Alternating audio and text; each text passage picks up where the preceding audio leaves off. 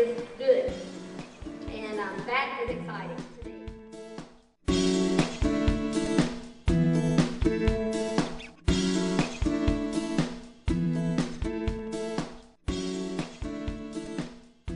During that tenure, I've met some truly remarkable individuals with great stories of bravery and heroism.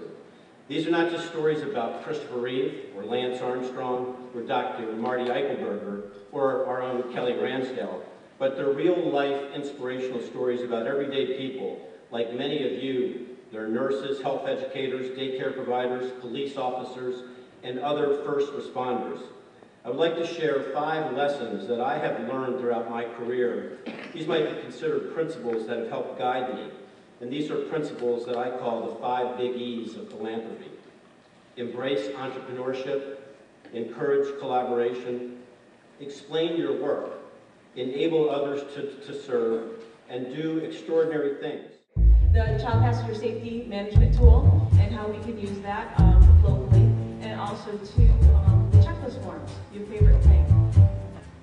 So here's here's something that I've always found really, really helpful for me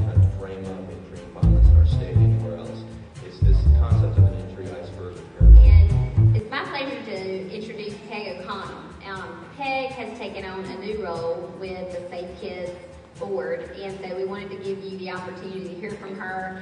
So that As I told you last year, and Jim has told you many, many times, he was very proud of the work that you do here at Safe Kids and the important role that you at the local level play in protecting our children. Here, when we started our first week, I got four different people said, you've got to work with Safe Kids. They're amazing. You have to meet these people. They're wonderful. They actually make things work. I am Krista Reagan. I'm the research director for the North Carolina Child Fatality Prevention Team.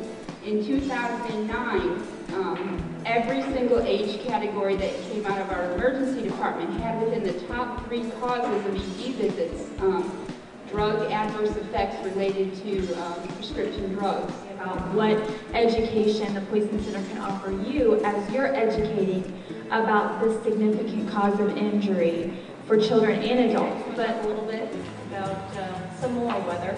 Um, I know that weather is not a direct program under the Safe Kids program, um, but looking at our mutual missions, uh, they seem to kind of overlap. We have school buses uh, focused mainly on kids being hit by motorists. Uh. As you can see, there's uh, 15,000 types of drivers.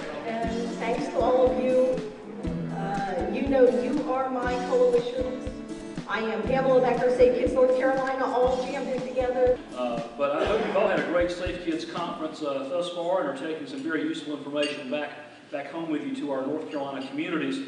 As you know, as a parent myself, I'd just like to say thank you for what you do, uh, for the work that you provide in preventing injuries and deaths to children all across this state.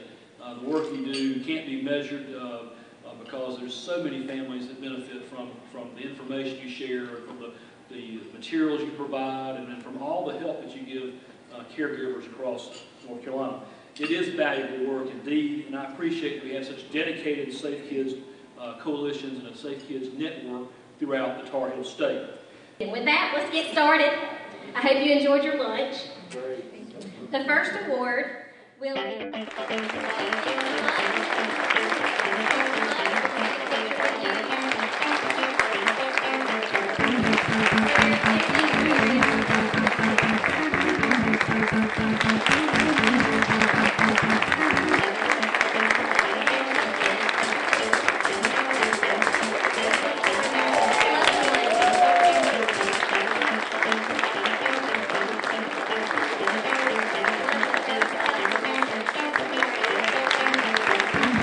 Thank